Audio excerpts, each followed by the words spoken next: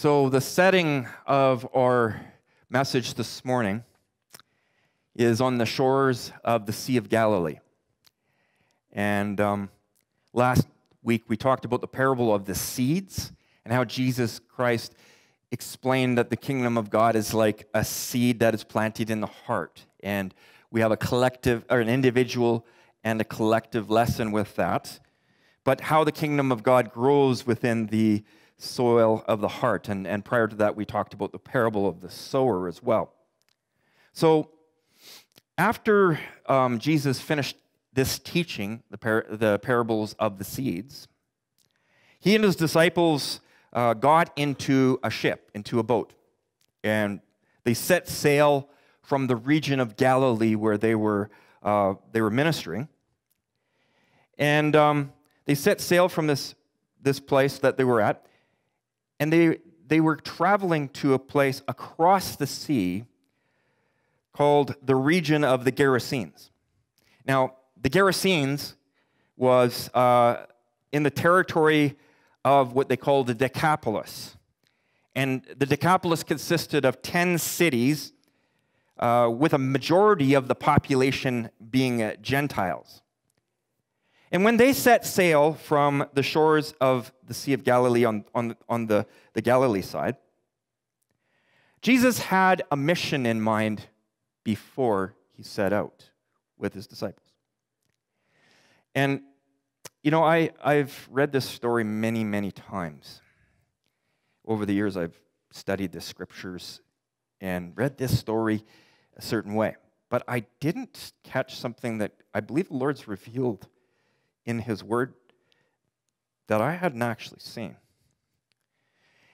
I think that when we look at the, the, the passage of Scripture, our, our text today is, is Mark chapter 4, verses 35 to chapter 5, verse 20. Sometimes when we're reading the Word of God, we can break it down into little into the stories and kind of focus in on the one story. But there is a big picture in this particular uh, passage of Scripture that I think we shouldn't too quickly overlook. And it's something that I've overlooked many times. But um, when Jesus asked his disciples to get into the ship and, and that they were going to set sail for the Gerasenes, he had a mission in mind before they even left. And I believe that the enemy knew that Jesus was up to something. Why would Jesus choose to sail to the Gerasenes, territory where most of the people were Gentiles?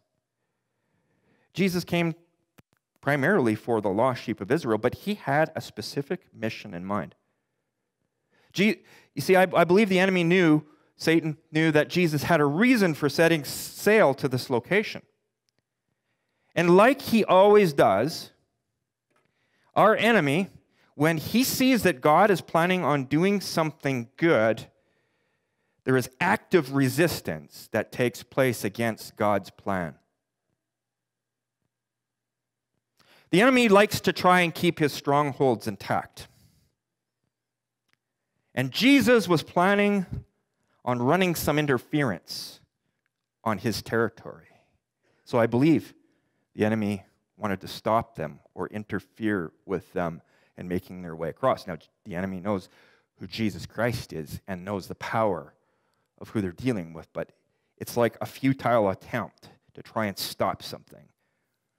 After ministering to the multitudes in Galilee and sharing with them these parables of the growing plants and how the kingdom of God works in the hearts of people, Jesus, they set out from this shore in a boat. It says there were other boats with them as well.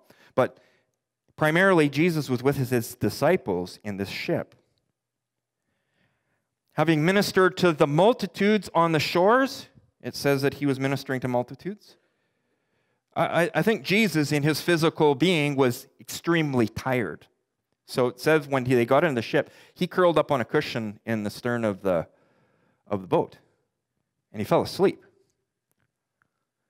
But while they were en route to the Gerasenes, we read in Mark chapter 4, starting with verse 35, that a ferocious storm blew up on the sea. Jesus was asleep, he was fast asleep. And his disciples were absolutely terrified with what was happening. And I believe that the backdrop to this storm has much significance. In your Bibles, let's start reading from verse 35 in Mark chapter 4. You can follow along on the screen if you wish. That day when evening came, he said to his disciples, Let us go to the other side. Leaving the crowd behind, they took him along just and just as he was in the, or just as he was in the boat. There were also other boats with him. A furious squall came up, and the waves broke over the boat so that it was nearly swamped. Jesus was in the stern, sleeping on a cushion. The disciples woke him and said to him, Teacher, don't you care if we drowned? He got up, he rebuked the wind and the waves, said to the waves, Quiet, be still. Then the wind died down and it was completely calm. He said to his disciples, Why are you so afraid? Do you still have no faith? They were terrified and asked each other, Who is this? Even the wind and the waves obey him. Now, after teaching these parables, Jesus advised his disciples he wanted to go to the other side. Isn't it just like Jesus to ask followers of his to go on an adventure with him? You ever feel like your life's an adventure? Well, I sure I surely do. I mean, you probably do too, right? And sometimes in adventure, you don't know the twists and the turns, and there's surprises along the way. Some of them are good surprises, and some of them are downright scary. Well, this particular surprise to the disciples as they began to follow the Lord's instruction to cross the sea was a scary thing. There are enemies in our lives as we're walking in the Lord that we're going to encounter. It's not a matter of when we're going to face resistance or if, if we're going to face resistance, it's a matter of when. You walk with the Lord, you're going to face resistance. Before we continue this story, I, I think it'd be good for us to reflect on the specifics of what the ministry of Jesus consisted of. What was the primary mission and ministry of Christ? In Luke chapter 4, 18, we read about Jesus. At the start of his earthly ministry, he's in his hometown of Nazareth. And he's in the synagogue, and they're having a synagogue session, much like a church session for the Jews. And in that synagogue session, they read from the scroll, and they read from the prophets. And they hand the scroll of Isaiah to Jesus, and this is what he reads the Spirit of the Lord is on me because he has anointed me to proclaim good news to the poor. He has sent me to proclaim freedom for the prisoners and recovery of sight for the blind, to set the oppressed free. I find this is very interesting. This is the start of his ministry. They rejected him in Nazareth. They said, Who is this? It's Joseph's son. They didn't respect the fact that he was launching something that would change the course of history because he, in fact, was God in the flesh, the Son of God who was born of a virgin to set his people free from captivity. And in setting collectively people free from their captivity, it drills all the way down to the individual that is set free from captivity. You see, in our text, the disciples had no idea what would await them on the other side, but Jesus knew, and Jesus had a plan. And his plan was to run interference on enemy territory in a certain case. To proclaim freedom for a man who was waiting on the other side, being held captive as a prisoner of the devil and his minions. And Jesus' plan was to set him free. Now, when we travel with the Lord through life, God's going to direct our paths. The Bible says that. If you believe Jesus, you can be sure that the Lord is going to direct your path. And he leads us into paths of righteousness for his name's sake.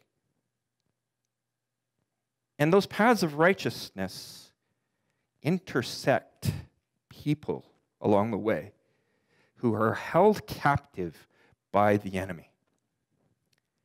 Now, the 12 disciples that were with Jesus on his mission when he walked the earth, they were firsthand witnesses to how Jesus Christ proclaimed good news to the poor, how he proclaimed freedom for prisoners and recovery of sight for the blind, and how he set oppressed people free.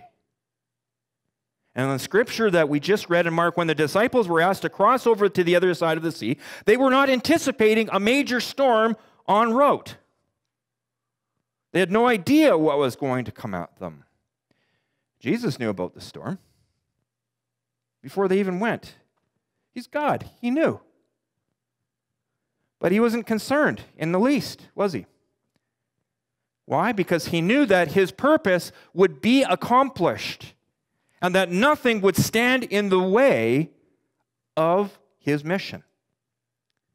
He was not concerned about the possibility of a storm blowing on them. He was curled up, sleeping on a cushion in the stern of the ship. Now, on the path of life, when Jesus tells us to go to certain places, you can be guaranteed this Jesus never tells you to go to a certain place unless he's got a good reason for it. There, there's just no chance. When you're a child of God, the steps of God's children are led by him. There's no chance involved. Now, I believe that this storm that came up on the Sea of Galilee was a supernaturally derived storm. We see the enemy threw supernatural things towards Job when he was tried, and I believe this was kind of similar. He knew that Jesus was up to something, and he threw everything he could at that boat to try and discourage them from crossing, to try and stop them from going to the other side, and if possible, to even kill them. And the squall broke out while they're in the middle of their journey. What were the disciples doing? They were sailing the ship while Jesus was sleeping. They were panicking. They were thinking that this might be the end for them and their ship because the waves were so large, it was hard to ignore them because they were washing over the boat. They were doomed. And in fact, without some kind of intervention, they in fact were doomed. These men were experienced mariners. We're not talking, you know, like these guys made a living fishing before they followed Christ, most of them. Not all of them, but most of them. For them to be concerned that their lives were in peril it would have taken an awfully big storm for them to be concerned about that. And they would know that this is a life altering event that's taking place here. They cried out to Jesus, who was rousing from his sleep Don't you care if we drown?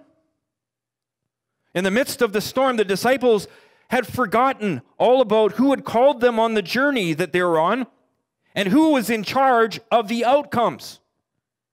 They let fear become their master, and they looked at the waves that were surrounding them and crashing over their boat, and they panicked and they said to the Lord, Don't you care if we drowned? Meanwhile, Jesus, he wasn't concerned about the storm. He was on a mission to save someone on the other side of that journey, and nothing was going to stop it. Nothing was going to interfere with that plan. He looked at his disciples, kind of looking at them. Quiet, be still, he says. Quiet, be still. That's all he had to say. He didn't have to jump up and throw something at the water, he didn't have to shout. He just said firmly, Quiet, be still. And the storm immediately abated, went away, and the seas became calm. And then he looked over at his disciples And he said, Why are you so afraid? Do you still have no faith? They were terrified and asked each other, Who is this? Even the wind and the waves obey him? Wow. I mean, we're talking, these disciples had already witnessed him doing fantastic miracles already. Jesus had shown very clearly that he was capable of taking care of things.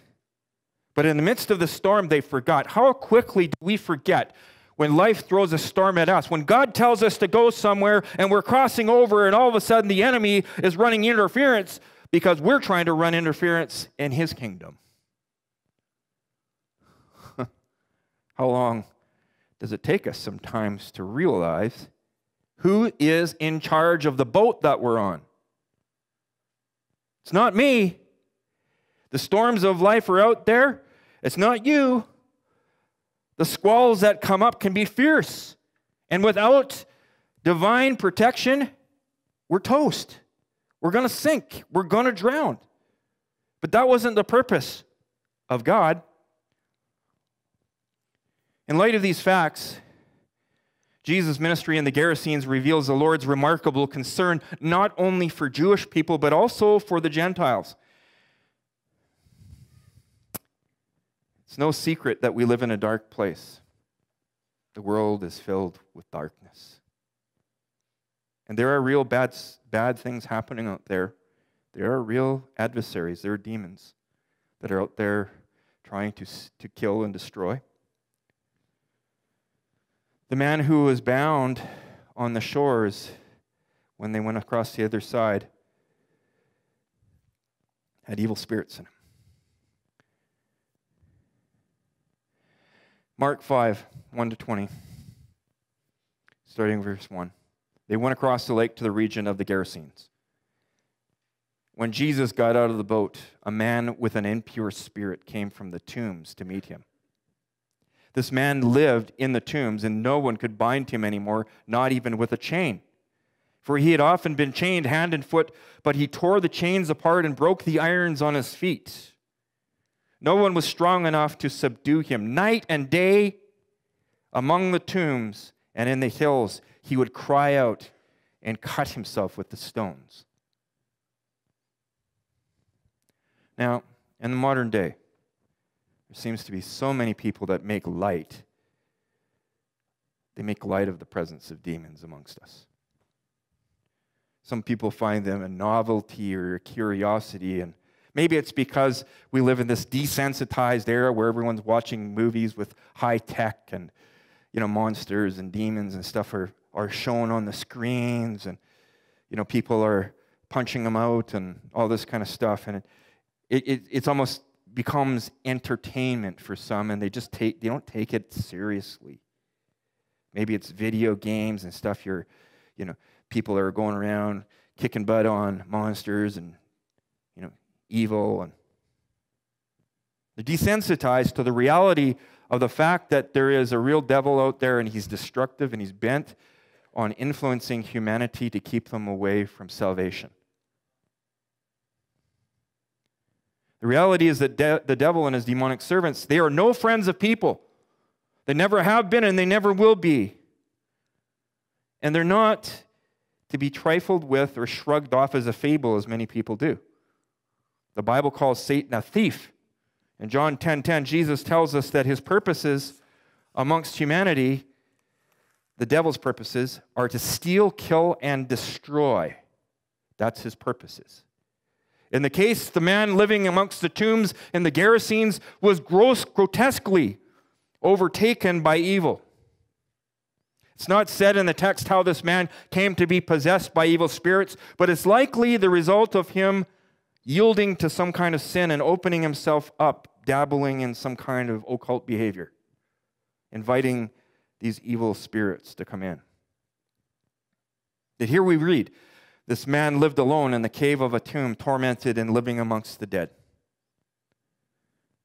The evil spirits that possessed this man gave him superhuman strength. And it's often a characteristic of a person who is possessed by an evil spirit. The, the angels the fallen angel, this demon, uh, you know, takes over the members of that person's body and does all kinds of horrible things with them and through them. Now, angelic beings, we're told in Scripture, both good and evil, are more powerful than human beings the way we are in this physical realm right now. They're more powerful than us. And they will do demons when they take over a person. They're, they're not friends of people.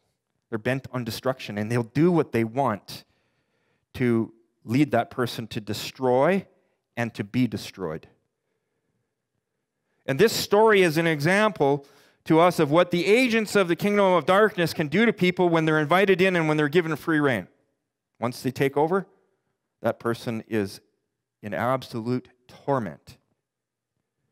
We should never underestimate the destructive power of our enemy. I'm not saying that we bow down to it because I'm going to talk about that in a bit, okay? We don't bow down to that. We don't shrink away and fear from that. But it's not because you or I have the capability of resisting our enemy on our own strength. We don't. We're called to be alert and sober minded when it comes to spiritual warfare that we encounter. 1 Peter 5 8 and 9 says, Be alert and of sober mind. Your enemy, the devil, prowls around like a roaring lion looking for someone to devour. Resist him, standing firm in the faith, because you know that the family of believers throughout the world is undergoing the same kind of suffering. The devil is bent on trying to inter- run interference with the mission that God's given us. Just like in this case when they're traveling over to the Gerasenes. The devil's a robber. He's a thief. He's a robber. This poor man that was bound Maybe he didn't realize it when he first opened his spirit up to the demons, but once they took over, they broke him big time. This man lost his home along with the fellowship of his family and friends. You can imagine him screaming out in, in, in torment, running amongst the hills and amongst the tombs, screaming out and cutting himself because he didn't know how else to, to let the, the suffering that was taking place inside him out. Horrible. From what we read here in the book of Mark, it's apparent that someone along the way tried to restrain him. Possibly to keep him from hurting himself, possibly to keep him from hurting other people. All this was done to no avail. Scriptures tell us, right? They weren't successful in restraining him, even though they bound him with chains and shackles he would snap the chains and break off the shackles off of him. He was that strong in demonic power. Nothing and nobody could bind this man when they tried to restrain him. Night and day, this poor man was crying out, running around, tormented. And there was one the Son of God, who saw this man where he was. He saw him across the Sea of Galilee. And he decided that he was going to go and rescue him because of his great love for that man. See, society isn't able to help people like this. It's just as true today back as is back in the first century. You can try all you want, you can give counseling all you want. You're not going to see someone who is bound by demon spirit freed. The only power under heaven that can free that person from demons is the power of the Lord God Almighty through the blood of Jesus Christ. Now, I'm not saying that there's not mental illness out there. Sometimes there is and it's physical or it's psychological, it's just a chemical thing, or maybe there's emotional damage from past things that have happened. And yeah, maybe that's, there's influence from the enemy who's trying to destroy that person in a certain way or whatever. Or maybe, you know, sometimes there's, there's disease or illnesses that can cause a person to be not in their right mind. So, not everything, not every time you have an issue with mental health is it demon possession. Okay? And there's been mistakes made over the years, but don't get this wrong. The world out there would like to write everything off as psychological. There is real demon power out there and people that are held captive. And you, as a believer, if you are, are, are called by the name of Christ to be his disciple, you're going to run into these people out there. You're going to run into these things. So the question is can you resist all that evil? What, what if you or I were to go to the Gerasenes in that day? In our own strength, could we overcome this? Absolutely not. But there is one who travels in our boat with us, that who travels beside us, and as a matter of fact, whose spirit has been given to us, that indwells us, the Holy Spirit, whereby we have been given authority in Jesus' name to trample on snakes and scorpions, not for the sake of trampling, but for the sake of seeing people that are bound by the devil set free. That's the purpose of it all. That's why Jesus came. You see that mission in the prophetic word of Isaiah? That's why Jesus came. He came to set people free and to bring, bring people into freedom, to bring them into the kingdom of God and praise God. You and I, if we accepted the Lord, have been set free. Society can't help a demon possessed person. When Jesus saw, when he saw Jesus from a distance, they so they roll up onto the shore in the Gerasenes, and there's this herd of 2,000 pigs or so grazing on the hillside in one area, and then there's this, this, these tombs, and there's this man up there, and he's out of his mind. When he saw Jesus from a distance, we see in verse 6, he ran and fell on his knees in front of him. He shouted at the top of his voice, What do you want with me, Jesus, Son of the Most High God? In God's name, don't torture me. For Jesus had said to him, Come out of this man, you impure spirit. Then Jesus asked him, What is your name? My name is Legion, he replied, for we are many. And he begged Jesus again and again not to send them out of the area. Now, these demons, when, this, when, when Jesus and his disciples landed on the shore, they recognized him. They knew he's coming for us. He's coming. And the demons in this man immediately recognized the authority of Jesus as the Son of God. They were terrified that he had come to where they were. The possessed man ran up to Jesus, fell on his knees, and fell on their knees in this, in the embodied in this man, begging for mercy. No doubt that these demons recognized the fact that they were doomed for judgment on Judgment Day. And they understood that the one who stood before them had much more power than they had. And as such, in consideration of this, they were unsure of what Jesus was going to do with them.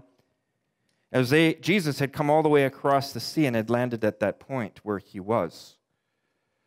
At the consideration of this, they, they likely were aware that uh, some of the spirits that were disobedient and fell out of favor with God because of their sin were sent straight into the abyss, it says. Jude chapter Jude 6, verse 6. Jude 6. And the angels who did not keep their positions of authority but abandoned their proper dwelling, these he has kept in darkness, bound with everlasting chains for judgment on the great day. Now, not all evil spirits are in this place of holding, this place where they're chained in this hell that they're holding in. Some are have been permitted to roam the earth, including Satan himself at this point. There will come a time when he's bound and he's pushed, pushed into this pit, this abyss as well. But the, these spirits entered this man. And the evil spirits living in this man identified themselves as legion because there were so many of them. Now, if you weren't aware, in the Roman army in those days, a legion is consisting of 6,000 men, 6,000 soldiers. And Jesus permitted this particular spokesperson for these demons that were in this man to speak on their behalf. We read in verse 11 a large herd of pigs was feeding on the nearby hillside. The demons begged Jesus, Send us among the pigs and allow us to go into them. He gave them permission, and the impure spirits came out and went into the pigs. The herd, about 2,000 in number, rushed down the steep bank into the lake and were drowned. I've read this passage and I'm, I'm going, hmm, why? What's going on here? When reading this passage, you might ask, well, why did, why did Jesus send this particular legion of demons into the pigs when he could have sent them into the abyss that he had sent other angels into who were disobedient? It's apparent, and they were begging. It's apparent that God had permitted and has permitted and continues to permit some of the evil spirits that are out there that were disobedient to him to dwell on the earth, while some are bound in these chains reserved for judgment at the end of the age.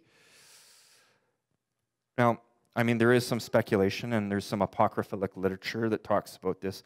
I, you know, apocrypha you have to be careful with because it's not on par with the Word of God, but there is some speculation and there is some indication in the Word of God that um, some of these spirits may have been the ones that were involved with Genesis um, chapter 6 2, which states the sons of God saw that the daughters of humans were beautiful and they married any of them they chose. And we have the giants of old, the heroes of renown, and all that coming from the Nephilim.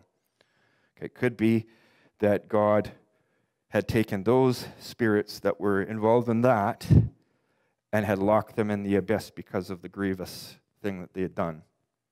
It's a bit of a mystery. We don't have all the answers to this, okay? But nevertheless, it's clear that there are evil spirits roaming the earth, and evil actually serves as a catalyst to act as a catalyst so that people will have a choice between good, between evil, between God and the kingdom of darkness. So they're permitted to carry on their mischievous and, and wicked activity. Now, Jesus allowed these, let's make one thing clear, okay? Jesus uh, did not um, destroy those pigs. The evil spirits destroyed him. He permitted it to happen. Maybe he was using um, this miraculous event to show people who were observing the miracle the great malice that the evil spirits that were possessing this man had, the destructive influence that they wished to, to do wherever they went, including in this poor man that had them in him. Jesus had already shown his disciples that he had power and authority over nature to calm the raging seas. Now he shows them his power and authority over spiritual realm to take these demons and order them out of this man. And this 6,000 strong legion, if legion correctly identifies, and I mean, there's speculation it could mean just a great number, but if this man had 6,000 demons in them, okay, humanly speaking, you as a human without Jesus can't resist one demon. And here's the Son of God. They're trembling. They're, because he has all the power and authority over every spirit that is out there. There is nothing that even comes close to the power of the living God. Nothing in heaven or on earth or under the earth. No spirit, no being out there compares to the great I am. He is Lord over all. Jesus is Lord. He's Lord over the sea. He's Lord over the elements. He's Lord over the spiritual um, forces out there. I think there was lessons to be learned in this, and there's probably more lessons than we've talked about here, even. But the bottom line is that Jesus delivered this man from the evil spirits because of his great love. And he went all the way across the Sea of Galilee into this region, understanding that the deliverance of this man would be his mission when he arrived. See, This reflects the ministry and the mission of the Son of God. All unbelieving people, even those who are not possessed like this man was, with the evil spirits pulling him around like a puppet. They're bound as slaves. Unbelieving people are bound as slaves to sin in the kingdom of darkness, and the devil is master over them because of sin. And this is a real snapshot into the prophetic ministry that Jesus fulfilled from Isaiah. And he's still fulfilling today because when we are sinners, we're held captive by the destroyer until Jesus Christ, the Son of the living God, delivers us from the tyranny. This is why Jesus said, Come unto me, all you who are weary and burdened and heavy laden, and I will give you rest. My yoke is easy. Learn from me. My yoke is light and easy. Compared to the devil and his cruel task mastering that he does to destroy and disfigure, to grotesquely make what God has made in his image to be ugly and, and putrid. Jesus came to set people free from that. You and I are set free from that. Before we knew Christ, spiritually, we were naked, torn, and disfigured, and we walked amongst the corruption of this world until Jesus shone his light, called us by name, and shone his light into our spirit and gave us soundness of mind. This is, do you see the parallel between this man was an example of what evil does inside of humanity. But all are sinners and fall short of the glory of God, and all of us need God's forgiveness and his redemption to be set free from the kingdom of darkness. And this is a prime example. Even the fiercest opponent to Christ, 6,000 demons, are fallen down trembling in front of him and going, What do you want with us? What do you want with us? Have you come to torment us? They tremble. They have a type of faith, but it's not a saving faith. So, some people have criticized why Jesus would cause the destruction of the pigs. He never caused the destruction of those pigs, just as God never causes evil to take place on the earth. He permits it, but He doesn't cause it. It's a permission that He gives to be a catalyst between Him and the opposite of Him the darkness versus the light. Those tending the pigs ran off, we read, reported this in the town and countryside. You can imagine how horrified these guys that were tending the pigs were. 2,000 pigs go rushing down the hill into the lake, and they're all squealing and shrieking, and, and they drowned. And these guys that are tending the pigs, ah, they're freaked out. They ran off, it says, and reported this to the town and countryside. And the people went out to see what had happened. And when the people came to Jesus, they saw the man who had been possessed by the legion of demons sitting there, dressed and in his right mind. And they were afraid. Those who had seen it told the people what had happened to the demon possessed man and told about the pigs as well. And then the people began to plead with Jesus to leave their region. And as he was getting into the boat, the man who had been demon possessed begged to go with him. Jesus did not let him go, but said, Go home to your own people and tell them how much the Lord has done for you and how he has had mercy on you. So the man went away and began to the tell in Decapolis how much Jesus had done for him, and all the people were amazed. what a story. Well, let's talk about the people first that came and inspected what was going on here. Rather than being really truly happy for the man who had been delivered from the legion of demons, they were freaked out. The people who were tending the pigs were terrified at what they witnessed. They ran off into the town and countryside telling everyone what happened. And the people came out to see for themselves what was going on. Now, there's no doubt as to the reality of this miracle. This demon possessed man had been there for many years. I'm sure he was really well known to the people in that region. You, you can just imagine that he would be the subject of campfire stories and spooky stories around the campfire. Did you hear about that guy at the tombs? Ooh, we tried to bind him with chains and he shattered the chains and he ran off. Who knows what he, he did? So these people knew about this guy that was living amongst the tombs. To see this wild man that they knew in the past, fully clothed, peaceful, calm, and rational, sitting before Jesus, that was proof that the power of God was resting on Jesus. But along with the wonder of seeing this man who had been delivered, there was another sight to behold, and more than 2,000 pigs had drowned in the lake. Now, it's very likely the men who had been tending the pigs would have wanted to tell the, the owners, if you make sense of this, right away what had happened, because guess what? They were responsible for caring for those pigs, and they're all dead. So they wanted to make sure that they told the owners what happened. And the tenders would have wanted uh, to be make sure that they weren't blamed for this, right? That's one thing. So they're thinking about themselves and about protecting their their interests. And when you can think, they're in a Gentile region, it's like that's an awful lot of bacon. 2,000 pigs, that's a lot of bacon.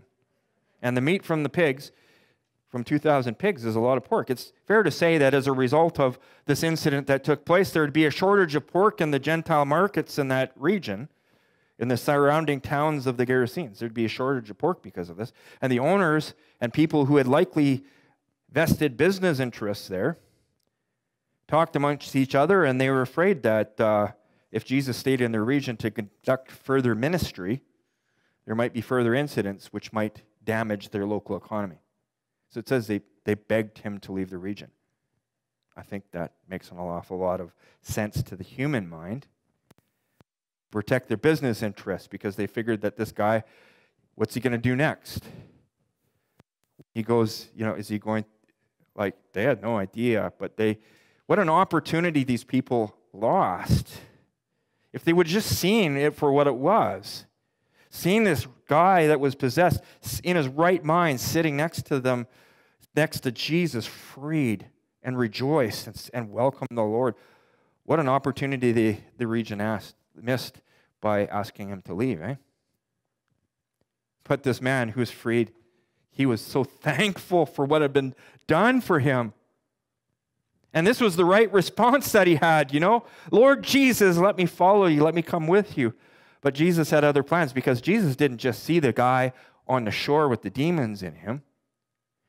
Jesus saw the future of what would happen when that guy was set free, and he would take the message to his own people.